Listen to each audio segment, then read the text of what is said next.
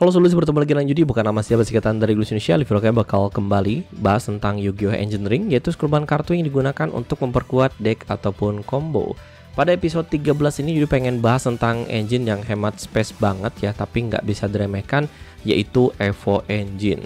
Sebenarnya ada yang nyebut ini sebagai Evoltil Engine, Evolsor Engine atau Evolzar Engine. Karena emang walaupun hemat space kita akan memuat ketiga jenis monster ini tapi biar gampang jadi akan sebut sebagai Evo Engine aja. Nah, untuk basic engine-nya kita butuh 1 sampai 3 Evoltil Pegasirla ini. Sebetulnya butuh berapa? Tergantung dengan seberapa mudah kita akses ke monster yang satu ini. Kalau kita bisa special summon gitu ya dengan combo yang kita lakukan ke arah Mega Sirla ya berarti kita butuh 1 sampai 2 juga oke tergantung dengan kita manggilnya dari mana. Kalau ternyata dari segi kombonya kita hanya bisa manggil dari deck. Amannya kita pakai dua biar nggak jadi garnet tapi kalau ternyata mau dari tangan atau dari deck bisa kepanggil satu pun sebenarnya cukup. Tapi kalau ternyata ini perlu kita hard draw ya kita butuh tiga. Jadi intinya gitu aja ya. 1 sampai 3 nya dari Mega Sirlian ini kita bakal gunakan efeknya untuk memanggil si Evolsaur Lios nah Lios ini kita bisa bawa 1 sampai dengan 2 tergantung dengan deck yang kita pakai juga sebetulnya sih ya. Jadi ada dua alasan utama kenapa Yudi juga menyarankan untuk bawa dua Lios, kadang-kadang satu cukup. Alasan pertama karena untuk si Mega Sirla ini kita bakal manggil Evolsornya itu dari deck ya. Jadi kita bakal manggil si uh, Dinosaur Fire level 6 combo itu dari deck dan Lios ini kalau cuma di bawah satu dan ke draw itu tentunya bakal jadi garnet banget ya.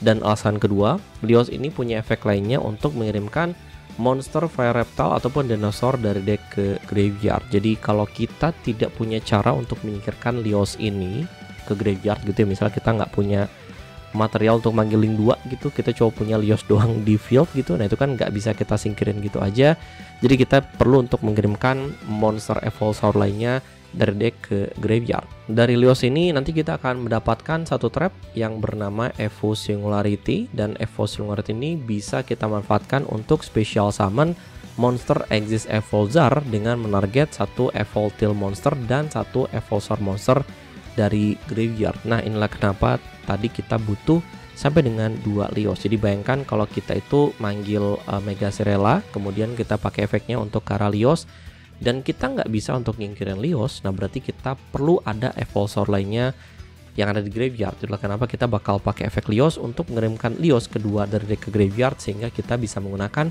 si Evo Singularity ini. Evolzer Lars adalah kartu terbaik untuk kita panggil menggunakan si Singularity ya untuk saat ini. Tapi untuk Singularity ini pemanggilannya adalah special summon bukan Exishokan jadi untuk Lars ini dipanggilnya secara prematur. Tapi nggak terlalu masalah karena Lars ini tetap punya proteksi ketika punya material dan Lars ini merupakan Omni Negate ya untuk kartu yang ada face up di field. Jadi bisa dibilang kayak Hot Red Abyss gitu ya. Tapi karena di sini kita bakal memiliki ada monster reptile dan dinosaur sebagai material sehingga untuk Lars ini bisa kita gunakan sampai dengan dua kali efeknya dan efeknya tidak limited activation. Jadi kita dapat ada dua Omnigate untuk kartu-kartu face up di field. Sebenarnya ada target lainnya, target terbaik lainnya adalah Lagia dan juga Dolka sih ya. Jadi tergantung dengan kita penggunanya ke arah mana. Tapi ya terbaiknya adalah Lars. Kalau ternyata kita pengen punya opsi lain, kita bisa ke Lagia ataupun ke Dolka. Kita nggak terlalu peduli dengan level dari monster Evolsaur dan Evoltile yang kita gunakan sebagai material. Yang penting kita punya ada Evoltile dan Evolsor aja untuk kita bisa resolve si Evo Singularity ini. Untuk kombonya juga simple banget, yang penting kita punya akses ke arah Evoltile Mega Sirla ini dan kita bisa gunakan efeknya. Kita bisa discard satu kartu dan tribut juga si Mega Sirla untuk akses ke arah Lios di sini ya. Dari efek pertama Lios kita bisa gunakan untuk langsung set aja Evo Singularity dan anggaplah kita tidak punya monster lainnya untuk kita ke link 2 gitu misalnya. Yang jelas kita di sini anggaplah nggak punya cara untuk menyirkan Leos Elios ke graveyard. Kita bisa gunakan efek Leos untuk mengirimkan Leos lainnya dari deck ke graveyard.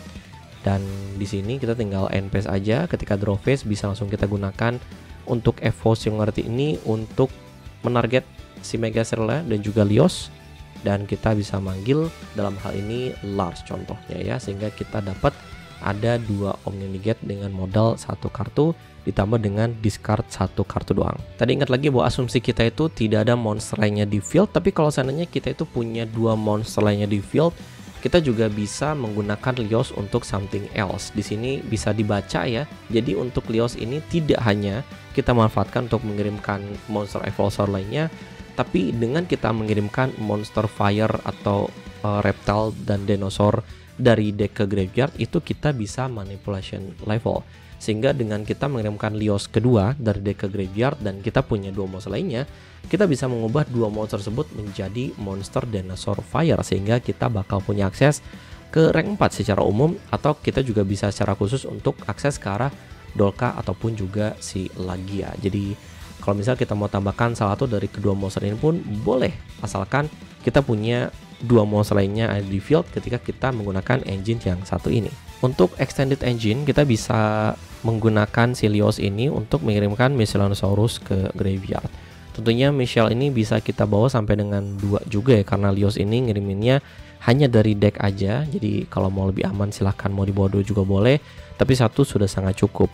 Nah, efek graveyard dari Michelle ini bisa kita gunakan untuk ngebanis dirinya sendiri dan kita bisa special summon satu monster dinosaur yaitu ada Archosaur di sini ya dan ketika Archosaur itu dipanggil, kita bisa menghancurin satu monster dinosaur yaitu si Lios dan kita bisa search ke arah double evolution pill untuk manggil monster dinosaur level 7 ke atas seperti Ultimate Conductor Terrano.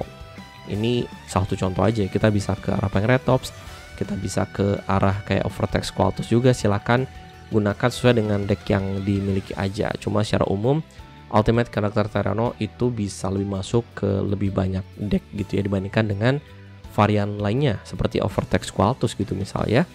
Nah di sini tentunya untuk menggunakan Double Evolution Pill kita tidak boleh ngebenis Mega Serala yang ada di graveyard. Ingat lagi untuk Singularity ini biar bisa resolve kita butuh ada Evoltil monster dan juga Evolsor monster di graveyard. Yang jelas kalau kita itu tidak punya monster non dinosaur lainnya, kita bisa sulap si Archosaur ini menjadi menjadi Linkuribo dan kita bisa lanjut ke arah Secure Gardener. Untuk di TCG berarti nggak bisa ini digunakan ya, tapi yang jelas ya bisa kita kalin dengan kita memanggil monster yang lain gitu ya. Tentu saja kalau kita gunakan bersama dengan deck, deck yang lain kita bakal punya monster non dinosaur juga. Jadi ini cuma salah satu contoh aja kalau kita nyangkut di Archosaur gitu yang jelas. Kita bisa gunakan double evolution pill untuk Benis kayak Archosaur dan juga Linkuribo untuk manggil UCT untuk kombonya juga masih sama ya kita tetap awali dari Mega Sirela dan discard folder ya. Jadi kita bakal ke arah Lios di sini. Dari efek Lios kita bisa pakai ya untuk set ke arah Singularity dan kita bisa gunakan Lios untuk mengirimkan si Michelle dari deck ke graveyard. Kalau ada dua monster lainnya nih bakal bisa tersulap jadi Dinosaur Fair juga. Kita mau ke Lagia ke Dolka juga boleh gitu ya nggak jadi bawa di sini. Yang jelas kita bisa gas untuk Michelle. Kita bakal banish untuk special summon Archosaur Archosaur efeknya aktif kita bakal destroy untuk Lios. Kita dapat ada double evolution pill kita sulap dulu ya menjadi Linkuribo lanjut ke Secure Gardener dan kita punya folder yang cukup ya untuk double evolution pill. Seperti ini. Dan kita memanggil UCT oke okay?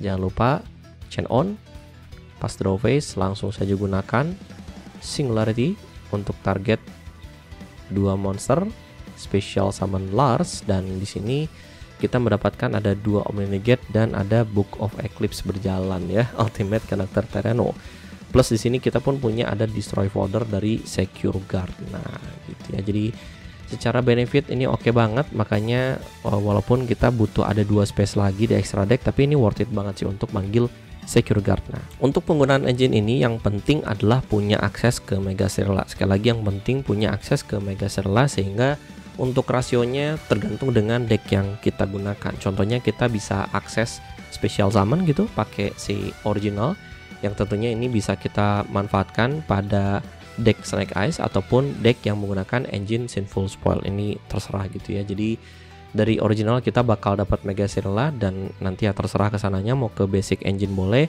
ataupun ke extended engine juga boleh. Atau kita bisa pakai searcher gitu ya untuk ke Mega Cirilla seperti searcher langsung dari Evo Diversity atau searcher yang lebih generik kayak King of Feral Imps gitu ya. Intinya yang penting kita bakal punya akses ke arah si Mega Cirilla itu sudah sangat cukup. Tentunya untuk kartu-kartu searcher lain dan juga kartu-kartu special summon lain untuk ke arah Mega Serla contohnya kayak one for one gitu bisa juga kita manfaatkan untuk akses si Mega Serla ini. Untuk beberapa deck yang serba reptile gitu contohnya kayak Ogdoadic juga bisa banget kita gunakan ya bersama dengan Evo Engine. Apalagi beberapa deck seperti ini juga bisa kita awali dari si Lios juga sih ya. Jadi mungkin bisa kebalik malah Liosnya yang kita bawa banyak gitu ya. Dan mungkin ini kita bawa kayak Fossil Deck untuk search ke arah Lios gitu jadi dibalik dan uh, contoh deck kayak Ogdo Adik kita punya kartu-kartu seperti Daybreak yang bisa kita manfaatkan untuk mengirimkan si Mega Cirella jadi kayak dibalik gitu ya.